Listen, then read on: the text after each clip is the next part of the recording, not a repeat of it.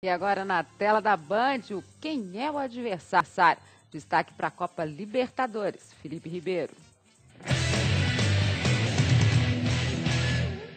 Olá, começa nesta quarta-feira às 10 horas da noite mais uma tentativa de conquista do sonho cruzeirense de faturar o tricampeonato da Libertadores.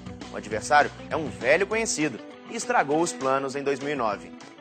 Cruzeiro e Estudiantes fazem esta noite a reedição da final do principal torneio das Américas. Há dois anos, os clubes se enfrentaram na grande decisão. As lembranças não são boas para os torcedores celestes. Verón e companhia derrotaram o Gladiador e seus companheiros na final. No jogo de ida, em La Plata, empate por 0 a 0, o que deixou a China Azul cheia de confiança. Afinal de contas, bastava uma vitória simples dentro de casa. Mas não deu. Depois de sair na frente com um gol de Henrique já no segundo tempo, os cruzeirenses assistiram sem acreditar a virada dos Pinchas. Fernandes e Bocelli silenciaram o Mineirão com os gols que decretaram o 2 a 1. Um passado um pouco mais distante, porém, o time mineiro eliminou o rival na Supercopa.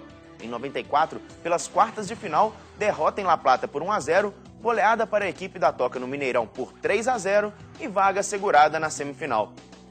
O retrospecto geral do confronto entre os clubes aponta seis partidas. São duas vitórias do Cruzeiro, um empate e três vitórias do Estudiantes. As duas equipes marcaram sete gols. Já no histórico contra os argentinos em geral, a Raposa leva melhor.